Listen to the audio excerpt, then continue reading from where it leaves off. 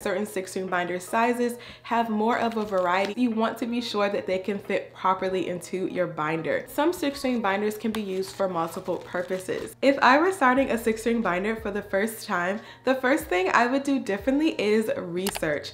I cannot stress enough how important it is to understand what six ring binder and refills you're getting before you buy them. So the first thing I would research are six ring binder sizes. So if you don't know, there are many different six ring binder sizes, such as the A5, the A6, the Archive, and the A7 sizes. And most times these sizes vary based on the company and the country that they're from. So you wanna be sure that you're double checking the size measurements of the six ring binder you're interested in, but also for the binder refills that you would like because you want to be sure that they can fit properly into your binder. So to me, one of the most frustrating things is to be so excited about setting up a new six ring binder only to find out your binder refills are too small or they're too large or they don't line up evenly with your binder rings in the binder that you want to use. Next up, you wanna research the six ring binder refill variety. So over time, I've learned that certain six ring binder sizes have more of a variety in their refills than others.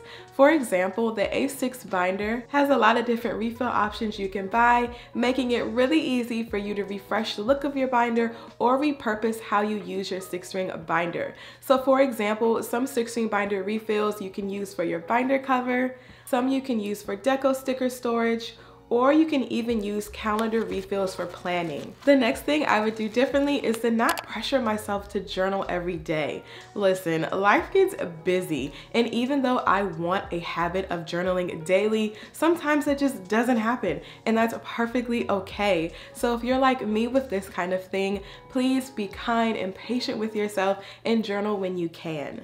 The next thing I would do differently is to remember that my journal spreads don't have to be aesthetic or pretty. 30. So if you prefer to journal without adding any additional stationery or deco items, that is perfectly acceptable and okay. Some of my best journaling experiences happen when I'm just writing out everything I'm thinking and feeling on paper without worrying about how aesthetic or pretty it is.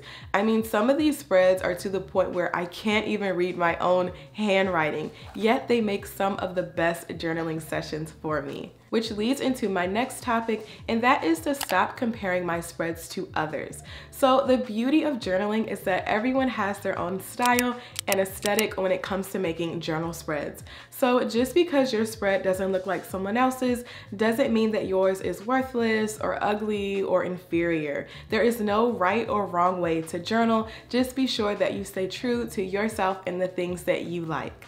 And the next thing I would stop doing differently is to start exploring different ways that you can use your six ring binder. So remember earlier when I mentioned that having certain six ring binders means that you have a variety in their refills. So this plays into this point as well, since some six ring binders can be used for multiple purposes. For example, some six ring binder refills you don't have to use just for journaling. You can also use them for note taking, drawing, storage, and so much more. So feel free to explore the different ways you can start using your six ring binder and let me know down in the comments below anything new that you have learned since having a six ring binder and I'll see you guys in the next video Kiittens. Adios. All right, we're about to start. Is this the middle? I think this is the middle. You got this. It's okay to show your face even though it's been light years. No buzz. Uh-huh.